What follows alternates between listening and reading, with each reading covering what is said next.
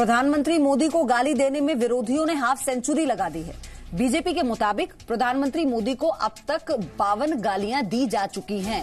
कल बिहार की पूर्व मुख्यमंत्री राबड़ी देवी ने पीएम मोदी को नाली का कीड़ा कह दिया। वहीं कांग्रेस नेता संजय निरूपम ने पीएम मोदी की तुलना औरंगज़ेब से कर दी।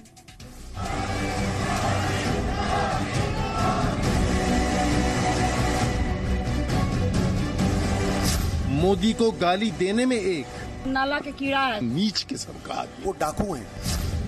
मोदी को बदनाम करने में एक। दुर्योधन। तस्कर है। मोदी के खिलाफ गाली गैंग। 2019 की सियासी महाभारत गालियों की चुनावी लीला तक पहुँच जाएगी। इसका अंदाज़ा देश में किसी को नहीं रहा होगा।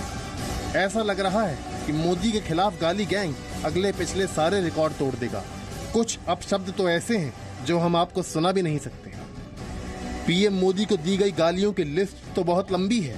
सभी गालियाँ आपको सुनाएँगे तो शाम से सुबह हो जाएगी। लेकिन फ़िलहाल कुछ पर नज़र डालिए। नाली का कीड़ा, जल्लाद, औरंगज़ेब, मुँह पर थप्पड़, नामर्द, मसूद, ओसामा, दाऊद, आईएसआई, आतंकवादी, नकारा बेटा, नशेड़ी, मानसिक बूढ़े, तानाशाह, हिटलर और मोस्ट स्टूपिड पीएम प्रधानमंत्री उस तरह के भाषा का अपना रहे हैं। क्या यार तुम लोग वो तो नाला के कीड़ा है। वो नरेंद्र मोदी दरअसल औरंगज़ेब के आधुनिक अवतार है। कभी औरंगज़ेब काशी की इन गलियों में गुंडागर्दी करने के लिए उतरा था? आज दुनिया की सबसे बड़ी पार्टी में कितने नाम आप जानते हो? नरेंद्र मोदी अमित शाह। प्रधानमंत्री मोदी ने हरियाणा की रैली में कांग्रेस और विपक्ष से मिल रही गालियों पर जवाब दिया। इनके बड़े बड़े नेताओं ने मुझे मानसिक तौर पर बीमार बताया नीच आदमी बताया। यहाँ तक कि ये भी पूछा गया कि मेरा पिता कौन थे ये नहीं मालूम। पीएम मोदी ने लोगों से कहा कि अपने बच्चों को विपक्ष की गालियों की डिक्शनरी से बचा कर रखें।